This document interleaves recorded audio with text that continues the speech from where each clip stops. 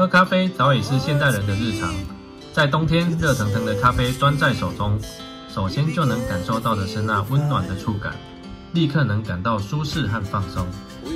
而在夏天，喝上一杯沁凉的冰咖啡，轻轻一啜，瞬间暑意全消啊！咖啡的香气仿佛在瞬间扑鼻而来，那是一种浓郁且复杂的香味。有些咖啡融合了焦糖、坚果、巧克力等多种气息，绝对让你陶醉在其中。入口时，咖啡的温度在舌尖散开，各家咖啡因此都能提供不同的味蕾响应，每一口都充满了丰富的层次感。喝咖啡的过程中，不仅仅是味觉的享受，还包含了情感上的共鸣。无论是在忙碌的工作日中获得短暂的休憩，还是与三五好友共度惬意的时光，咖啡都扮演着不可或缺的角色。一杯咖啡既是一天能量的来源，也是一种心灵的慰藉啊！今天来到的是位于南投的和松咖啡，听说除了是一家自家烘焙馆，更是结合画廊的咖啡店。就让我们来品尝咖啡去吧，Let's go！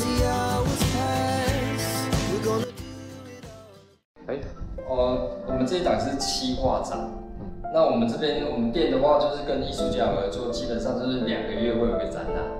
那这一次排的是七画，那七画这次是一个粤语的画家，然后他七画的话主要就是他用漆画在漆板，那上面真的是木头，那漆板主要有两个颜色，一个是黑色，一个是红色。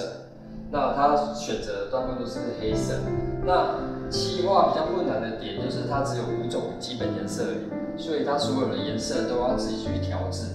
那它画绘画的时间要比较长，因为它画一个地方都要等它稍微干以后，它旁边才能再作画。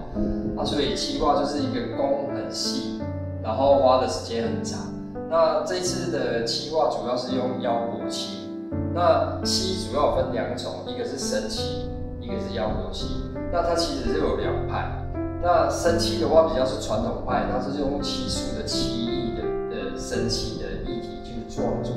那生漆的话会有几个困难点，就是它很容易过敏，再来就是它干的时间会更长，所以它绘画的时间就会比较更加长。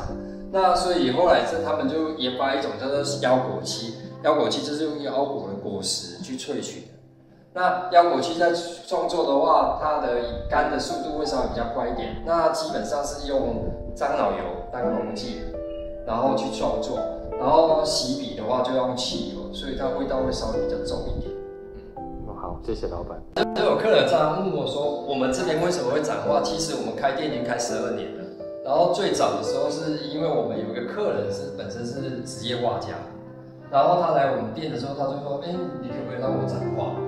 那那时候其实还蛮好玩的，我就觉得说为什么要展画，就是我觉得诶还蛮特别，是因为他是职业画家，他是靠卖画为生。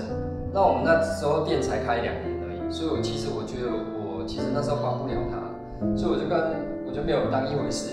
结果那老师就跟我讲说，没有，事实上我想要帮你。结果他就把他画来我们这边展。结果因为他是职业画家，所以他画真的就卖了好几幅，然后吸引很多人。然后从此我们就是跟艺术家合作，就是比如说我们两个月就换一档，就会有不同的素材来，他帮我们带客人，然后我们就会帮他们做介绍、贩卖。那我们早期都是以艺术诶职业画家为主，我们所以我们展过画有油画、水彩、国画、书法、摄影、漆画也有，所以还蛮多元的。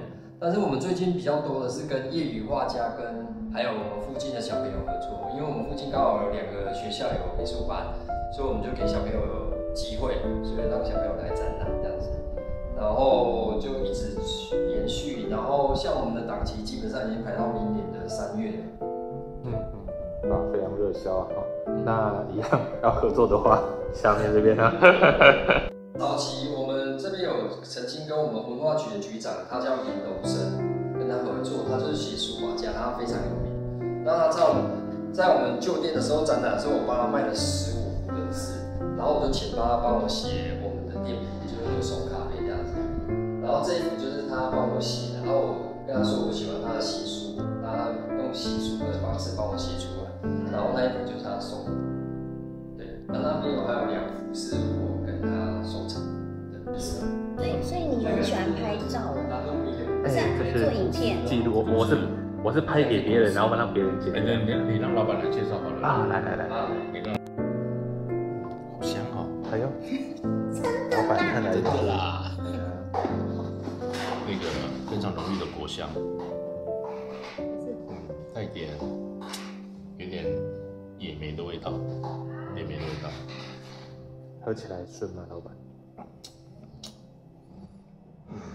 就是那种酸酸的那种水果的香味，就像那种水果泡的咖啡，嗯，看起来是还蛮不错。嗯，好喝。哎，水果